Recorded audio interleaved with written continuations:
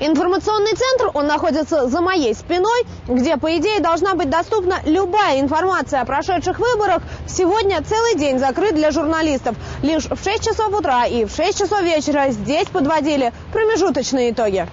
Правда, как выяснилось совсем недавно, даже в 6 вечера в информационном центре не готовы подвести итоги воскресных выборов. А, Владимир Вячеславович не будет пока давать никаких комментариев до того, как состоится заседание комиссии. А во сколько будет заседание комиссии? А, избирательная комиссия будет завтра в 10 часов. А почему сегодня не будет итогов никаких как-то? Не могу предоставить вам эту информацию. А с чем это связано? Можно узнать вообще? Как бы нам тоже же надо, правильно, людям да, что-то я говорить? все понимаю, но в данный момент мы не, у нас нет данных.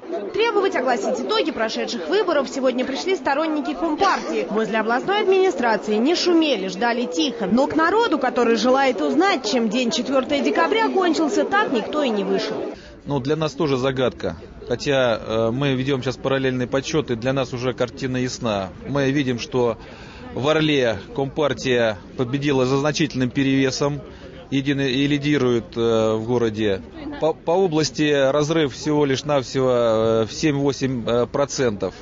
Я думаю, что э, проблемы, э, связанные с выборами в Государственную Думу, э, с процентом, который э, необходимо набрать было Единой России, который они, к сожалению, не набрали. Не говорят о количестве нарушений, ни о явке, ни уж тем более о результатах. Эти выборы тоже были грязными, уверены представители оппозиции. Кандидатов в депутаты от КПРФ Павла Анциферова побили прямо на избирательном участке. Результат политической борьбы, что называется, налицо. Из Брянска были заряжены три автобуса с молодыми людьми, которые пытались на всех участках нашего округа проголосовать без паспортов. Мы зашли на участок, сделали замечание, спросили его, по- поинтересовались, почему вы находитесь на участке. И в ответ получили удар в лицо.